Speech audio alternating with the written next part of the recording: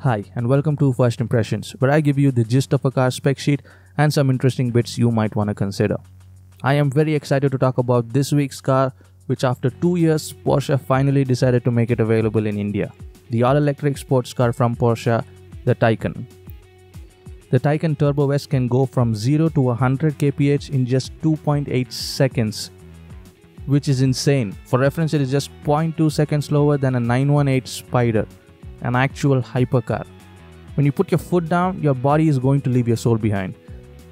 Wait till you hear the price, then the opposite is going to happen.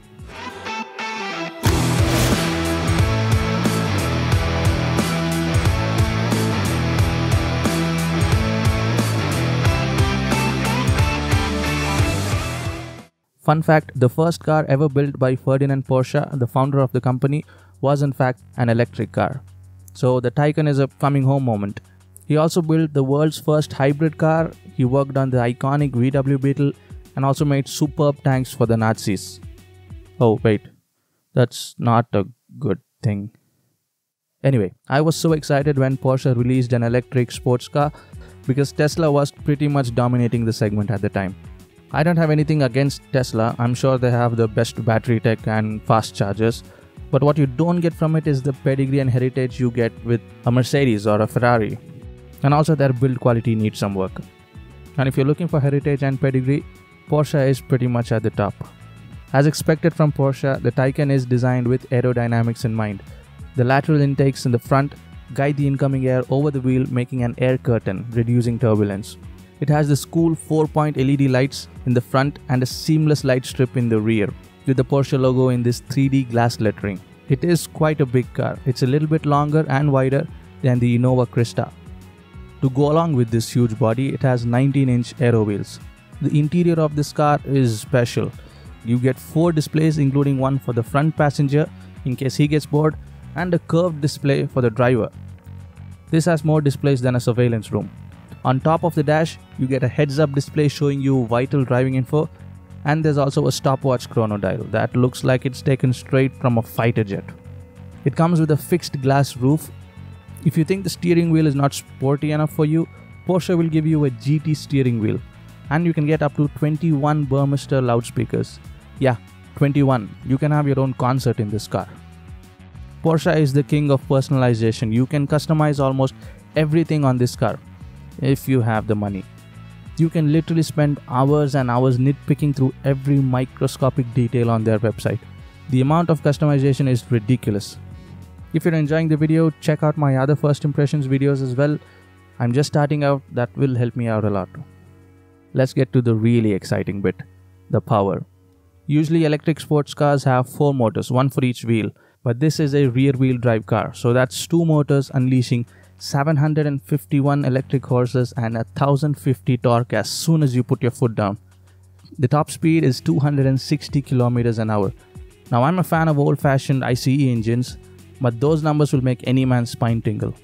It has an adaptive rear spoiler that extends in 3 stages, giving you that extra downforce you need.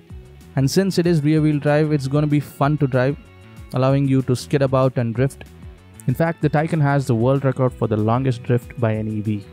Take that Tesla. You also get regenerative braking used by Formula 1 cars. How it works is during light braking, instead of squeezing the brakes, it uses the kinetic energy of the spinning wheel to recover power back into the batteries. And for heavy braking, it brakes as usual. You can get an extra range of up to 4 km by braking from 200 kph all the way to zero. Porsche calls it recuperation. Whatever you call it, it's a good thing to have. It has a range from 354 to 464 kilometers between variants. Although it depends on a million reasons like driving style, temperatures outside, having the AC on. If you are driving the base Taycan in the city, and I'll take the average temperature of India, which is 25 degrees, with the AC on, you will get a range of 279 kilometers, and it's 311 in the Turbo S version, which is more than enough for a day's driving. It has fast charging, which takes just 22.5 minutes to charge up the battery. And if you're charging from home, which is more likely, it's roughly 8.5 to 10 hours. You get all the basic assistance systems like the lane change assist, night vision assist, remote park assist, you get the gist. And you better get all the bells and whistles because the price starts from one and a half crore. Now that's a proper price. If you like some sound while driving just to take your mind off what you paid for the car, you can switch on the electric sports sound. Have a listen.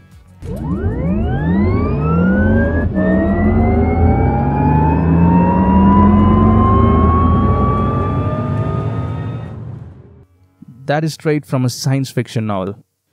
Okay, now the things which are not so good about the car.